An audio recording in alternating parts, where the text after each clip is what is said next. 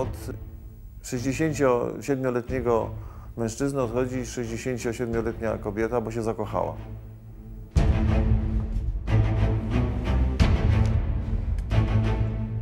Przyjeżdżają do niego skłóceni kompletnie ze sobą dwaj mężczyźni, jego wnuk i jego syn.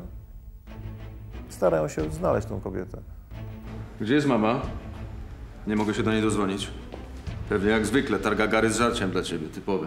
Ponieważ cechą dominującą tych facetów ja postanowiłem, że to będzie egoizm, taki czy inny i pewne agresywne okazywanie sobie stanów emocjonalnych, bo, bo pe- pewne rzeczy można przekazać spokojnie, oni nie potrafią.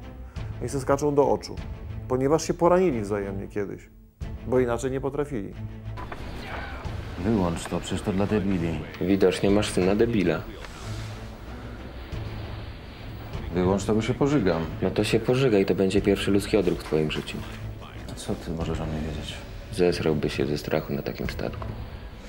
Naprawdę myślisz, że się tak łatwo zesrywam? Tak. Tak właśnie myślę. To nie jest taki film mm, z gatunku mm, mrocznych filmów analizujących y, zawikłane meandry dzieciństwa. To jest kawałek prawdy o rodzinie, ale z- zabawnej też. Będę miał dziecko. Co?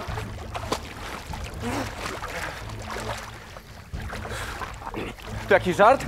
Nie, będę miał dziecko, no. Jak to będziesz miał dziecko? No normalnie, z kobietą. To jest dziewczyna z twojej klasy? To jest moja nauczycielka od literatury. O kurwa. No to pięknie. No takie trio ryzykowne, ale się okazało, że warto zaryzykować.